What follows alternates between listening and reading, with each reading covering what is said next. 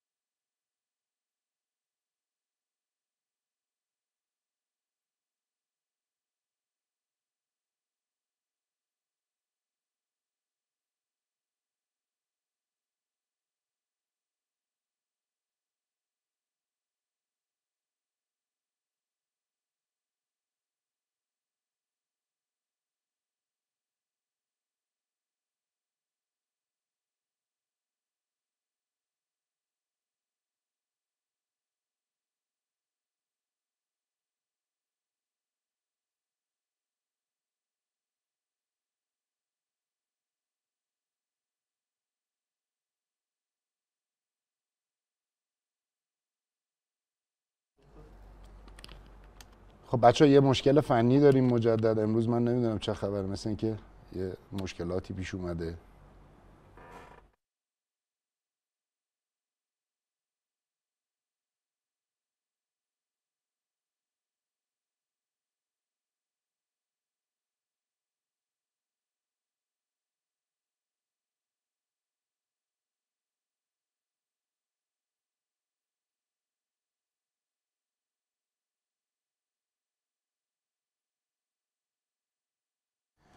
خب مشکل فنی مجدد داشتیم. دلیلش اینه که حالا بالاخره یکی که اینترنتمون خب یه خورده فضاش مشخصه. یکی اینکه حجم بچه هایی که توی کلاسن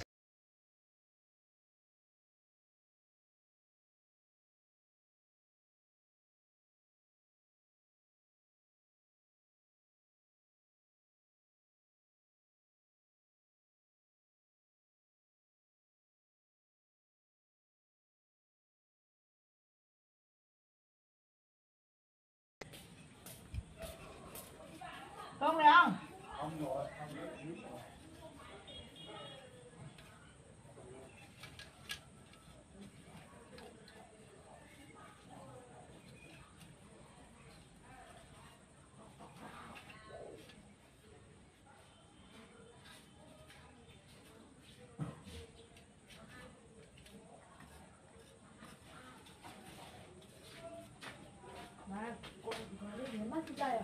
嗯。俺那不在，牛不是没人。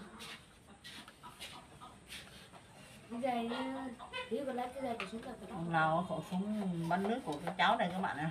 Nào nào khẩu súng bắn nước của các cháu thứ nhì À cho nó sạch này các bạn.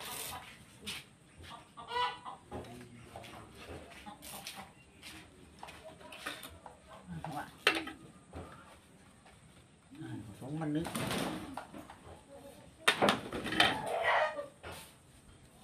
Như lại đại